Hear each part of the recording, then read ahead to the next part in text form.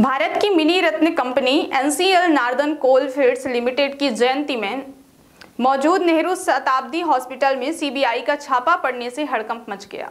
सूत्रों के मुताबिक, सीबीआई जबलपुर की आठ सदस्यीय टीम ने पचास हज़ार की घूस लेते हुए सिविल प्रबंधक आर मीणा और ओवरसीयर मनदीप गुप्ता को गिरफ़्तार कर जबलपुर लेकर रवाना हो गए हैं। सूत्रों के मुताबिक नेहरू हॉस्पिटल के किचन सेट निर्माण में हुई गड़बड़ी को छिपाने के लिए कॉन्ट्रैक्टर से दो लाख रिश्वत की मांग की गई थी। शिकायत पर आज जबलपुर से आईसीबीआई की टीम ने दोनों को गिरफ़्तार कर लिया है।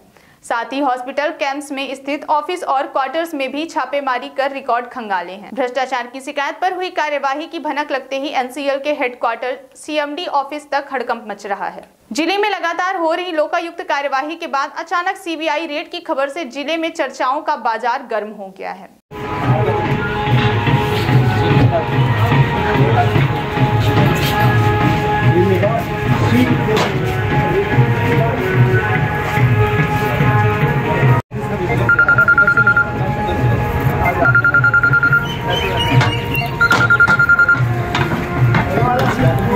हेलो।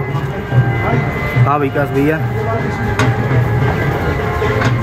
हाँ एक मिनट थोड़ा सा आरोपियों को ले जा रहे हैं, मैं वीडियो बना रहा हूँ। फिर मैं करता हूँ। हाँ दस मिनट दस मिनट।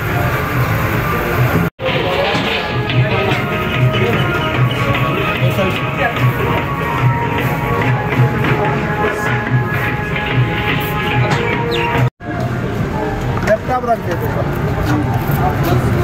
एक है एक है एक है एक है दो बार।